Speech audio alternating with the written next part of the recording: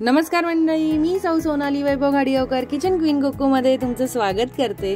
तर आजच्या व्हिडिओमध्ये आम्ही तुम्हाला आमच्या गावच्या घराच्या अंगणात दिवसभर येणारे पाहुणे म्हणजेच आमच्या घराच्या परिसरात बागडणाऱ्या पक्ष्यांचे व्हिडिओज आणि फोटोज या संपूर्ण व्हिडिओमध्ये आम्ही तुम्हाला दाखवणार आहोत. तर चला मग व्हिडिओ पाहूया.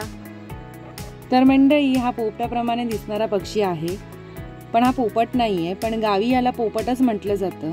याचं नाव आहे रेड थ्रोटेड बार्बेट हा पोपटाप्रमाणे चिकू आणि पेरूच्या झाडावर जास्त आढळतो आणि माणसांपासून हा पक्षी जरा दूर असतो त्यामुळे मला याचे व्हिडिओ बनवता आलेले नाही तर या फोटोमध्ये दिसणाऱ्या तुम्हाला या छोट्या ज्या चिमण्या आहेत.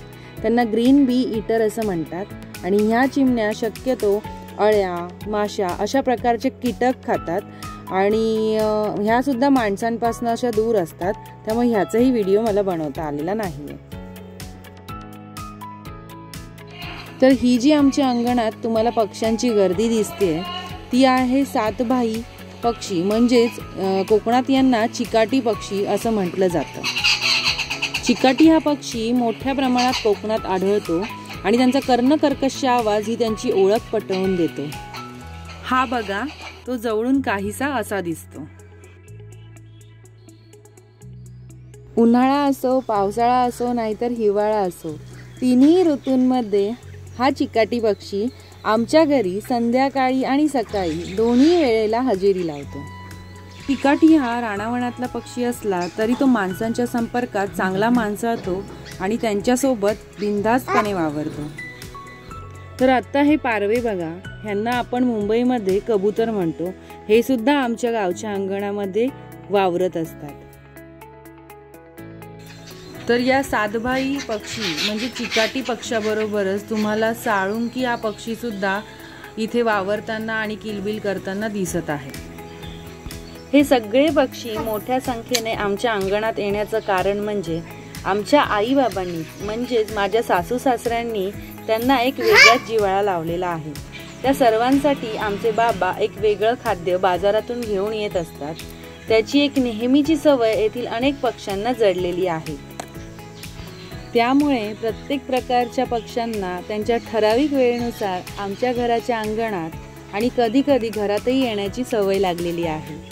म्हणजेच समजा जर कधी आई बाबा कधी त्यांच्या कामामध्ये व्यस्त असले तर अगदी नेहमीचे पक्षी ठरलेल्या वेळी येऊन जणू आई बाबांना हाक मारून किलबिलाट करतात आणि खाऊ खाल्ल्यावरच शांत होतात. हे दृश्य फारच विलोभनीय असे असते. जर हे तुम्हाला अनुभवायचे असेल तर एक दोन दिवस तरी आमच्या घरी राहायला नक्की या. कधी कधी काही पक्षी इतका आताताईपणा करतात की त्यांना प्रचंड भूक लागलेली असते. अशा वेळी ते घरात येऊन बाबांच्या पायाला चोच मारतात आणि बाबांना त्यांच्याकडे लक्ष केंद्रित करायला भाग पाडतात. एकंदरीतच वृक्षवल्ली आम्हा सोयरे वनचरे पक्षीही सुस्वरे आळविती असाच काहीसा माहोल झालेला असतो. तर हे बघा खाऊन कसे सुस्तावलेले आहेत. ही आमच्या घरात नेहमी येणारी खारुताई आहे. ही अंगणात सुद्धा असते आणि घरात सुद्धा असते. तिला बघून अजून बऱ्याच खारुताई आमच्या अंगणात येत असतात. कोकणात तिला चानी असे म्हणतात.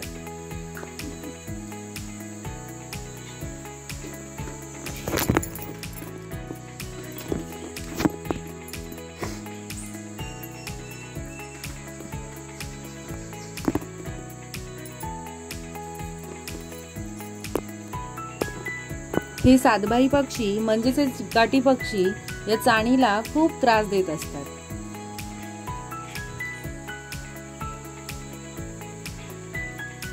तर या पक्षाचं नाव आहे मॅकपी रॉबिन म्हणजेच दयाळ. हा बांगलादेशचा राष्ट्रीय पक्षी आहे आणि कोकणात त्याला मडवळ किंवा देवचिमणी असे म्हणतात. हा पक्षी गोड आवाजात शिळ घालतो आणि त्याच आवाजात गाणीसुद्धा गात असतो. कधी कधी इतर पक्ष्यांचे आवाज काढून तो आपल्याला कन्फ्यूजही करत असतो. हे बघा आमच्या पडवीत येऊन कसे बागडतायत. बघायला गेलं तर इथे त्यांना खायला काही घातलेलं नाही आहे पण रोजची सवय झाल्यामुळे इथे येऊन ते निवांत बसतात. तर हा बघा हा आहे कवडा पक्षी. आमच्या अंगणात इतर पक्ष्यांबरोबरच हा मोठ्या संख्येने येतो कारण हा जंगलासोबत मनुष्यवस्तीत सुद्धा राहतो. पण हा माणसाला घाबरतो आणि आपण जवळ गेलं की तो लगेच उडून जातो. याचे कारण म्हणजे यांच्या मांसासाठी पूर्वी शिकार केली जायची. पण हल्ली ती केली जात नाही आणि ही चांगली गोष्ट आहे कारण यामुळे यांच्या संख्येत लक्षणीय प्रमाणात वाढ झालेली आहे. याला इंग्रजीमध्ये स्पॉटेड डव तर काही ठिकाणी होला असे म्हणतात. साधारण पारव्यापेक्षा हा पक्षी लहान आहे पण पारव्याचीच जात आहे. माणसाची नजर पडणार नाही अशा ठिकाणी झुडपात घरट करून हे पक्षी आपली प्रजाती वाढवतात. हा पक्षी बघा याला म्हणतात साळुंखी. यालाच काही ठिकाणी मैना किंवा शाळू असंही म्हटलं जातं. हा पक्षी सुद्धा थव्यामध्ये राहणारा पक्षी आहे. तुम्हाला माहीत नसेल हा पक्षी अगदी पोपटासारखे कर्णमधुर आवाज काढतो. म्हणून काही लोक याला पाळतात सुद्धा. तसेच हा पक्षी नेहमी लोकवस्तीच्या जवळ राहतो. त्याला पिंजऱ्यात ठेवल्यास लगेच पोपटासारखा तो माणसाळतो त्यामुळे तुम्ही याला पेट बनवू शकतात. ढोलीमध्ये घर करायच्या सवयी असल्यामुळे पिंजऱ्यातल्या मडक्यामध्ये सुद्धा हा पक्षी अंडी घालतो. आणि आपण शिकवू तसे तो निरनिराळे आवाजही काढतो. या माझ्या व्हिडिओमध्ये तुम्ही बघाल तर या साळुंक्या पण मोठ्या प्रमाणात तुम्हाला दिसतील. या व्हिडिओमध्ये तुम्ही पाहतच असाल की सातबाई म्हणजेच चिकाटी आणि पारवे म्हणजेच क मुंबईत याला कबूतर म्हणतात. ते पक्षी त्याच्यानंतर दोन बुलबुल पक्षी आणि मोठ्या प्रमाणावर साळुंख्या इथे एकत्र झालेल्या दिसत आहेत. हे पारवे जे तुम्ही बघतायत त्यांना मुंबईत कबूतर असं म्हणतात. मुंबईत ते प्रचंड संख्येने आढळतात पण गावच्या ठिकाणी हे पारवे फार क्वचितच दिसतात. अगदी दुर्मिळ म्हटलं तरी चालेल. कारण गावी कबूतर शोधूनही सापडत नाही पण आमच्या या गावच्या अंगणात मोठ्या संख्येने हे पारवे कुठून तरी येतात. याचा अर्थ त्यांनी आमचे घर शोधून काढलेले आहे. आणि येथे मनसोक्त खाऊ मिळतो हे त्या सर्वांना माहीत झालेले आहे. इतर पक्ष्यांना धमकवण्यात यांचा फारच हातखंडा आहे. हे पारवे झाडावर घरटा न करता साधारण चिमण्यांप्रमाणेच घरांच्या कपारीत बाल्कनीमध्ये किंवा काळ्या कातारांच्या कपारीमध्ये घरटे बांधतात. काही जण या पारव्यांना दमा असलेल्यांसाठी धोकादायक पक्षी म्हणतात. पण सुदैवाने आमच्या घरी किंवा आजूबाजूला कुठे दमा असलेली व्यक्ती नाही. तसेही हे पारवे मुंबईसारख्या दूषित वातावरणातले नसून गावच्या राणावरणातील शुद्ध वातावरणात वाढलेले आहेत. आम्ही वर्षातून अधूनमधून गावी जरी येत असलो तरी हे सर्व पक्षी आम्हाला न घाबरता बिनलिक्कतपणे आमच्यासोबतही वावरत असतात. जणू काही त्यांना हे माहीतच असते की हे फॅमिली मेंबर्स आहेत. तर हा जो पक्षी तुम्ही पाहतायत याला गप्पीदास असे म्हणतात. काही ठिकाणी याला हिवाळी गप्पीदास पण म्हणतात. इंग्रजीमध्ये याला सायबेरियन स्टोन चॅट असे म्हटले जाते. हा भारताबाहेरही आढळतो तसेच भारतातही तो मोठ्या प्रमाणावर आढळतो. किड्या मुंग्या वाळवी हे त्याचे मुख्य खाद्य आहे.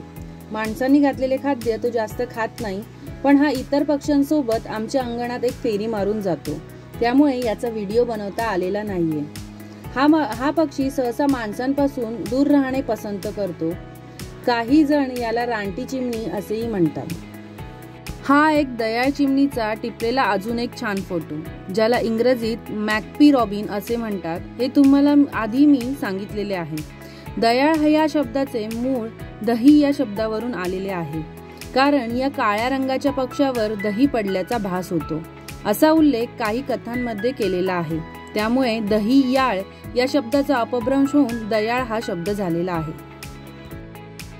सातबाई पक्ष्यांची अर्थातच चिकाट्यांची एकी मला फार आवडते. एखादे लहान पिल्लू त्यांच्यामध्ये असलं तर सर्वच मोठे पक्षी त्या लहान पिल्लाला अन्न भरवत असतात. जास्त पाऊस पडत असला तर ही सगळी गँग आमच्या पडवीत ओट्यावर येऊन शांत बसलेली असते. एरवी अति चिवचिवाट करणारे हे साधबाई कधी कधी कोणीही बोलायचे नाही असे ठरवून कमालीचे शांत बसलेले असतात. अगदी आपल्याला जाणवतही नाही आपल्या बाजूला एवढा मोठा पक्ष्यांचा थवा आहे. पूर्वी या सातबाई पक्ष्यांची सुद्धा मोठ्या प्रमाणावर शिकार केली जायची. पण आता या पक्ष्यांना कोणीही मारत नाही आणि कायदे सुद्धा कडक झाल्यामुळे कोणी असे करण्यात दजावत नाही. त्यामुळे हे पक्षी आपण जितकी माया लावू तितकेच आपल्या जवळ येतात.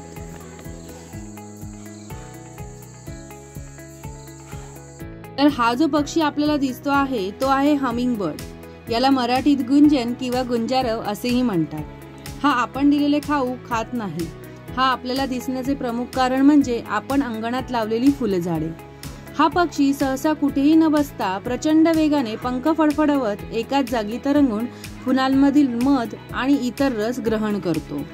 त्याच्या प्रचंड वेगाने पंख फडफडवण्यामुळे जो ध्वनी उत्पन्न होतो म्हणून त्याला गुंजारव असे म्हणतात. त्याच्या असंख्य प्रजाती वेगवेगळ्या रंगाने जगभर आढळतात. आमच्या अंगणात असंख्य फुलझाडे असल्याने त्याचे दर्शन आम्हाला घडते. अन्यथा तो माणसांच्या आसपास फिरकतही नाही. म्हणूनच मला त्याचा व्हिडिओ बनवता आलेला नाही. तर हा आहे बुलबुल पक्षी. याला इंग्रजीतही बुलबुल असे म्हटले जाते. बुलबुल पक्षी नेहमी जोडीने फिरत असतो. हव्यांच्या सोबत राहायला त्याला आवडत नाही. याच्या शेपटाचे मूळ लाल रंगाचे असते. तर कधी डोळ्यांच्या आसपासची पिसे सुद्धा लाल रंगाची असतात. डोक्यावर काळा तुरा असतो. माणसांनी दिलेले खाऊ बुलबुल पक्षी हौसेने खायला येतो. या माझ्या व्हिडिओमध्ये नीट पाहाल तर दोन बुलबुल सगळ्यांसोबत वावरताना दिसतील. यांचे घरटे गर्द झुडपांमध्ये छोट्याशा वाडग्याप्रमाणे असते. लहान आणि नरम गवताचा यामध्ये प्रामुख्याने उपयोग केलेला असतो. अशा प्रकारे अनेक पक्षी अंगणात येत असतात. आपण त्यांना जितके प्रेम द्याल तितकेच तेही आपल्याप्रती प्रेम दाखवतात आणि हौशीने कुटुंबाचा एक भाग असल्याप्रमाणे आपल्यासोबत राहतात. तर तुम्हाला हा व्हिडिओ कसा वाटला मला कमेंटद्वारे नक्की कळवा. माझं चॅनल लाईक करा शेअर करा सबस्क्राईब करा आणि पाहायला विसरू नका. किचन क्वीन कुकू. मेजवानीची मुक्त उधळण. धन्यवाद.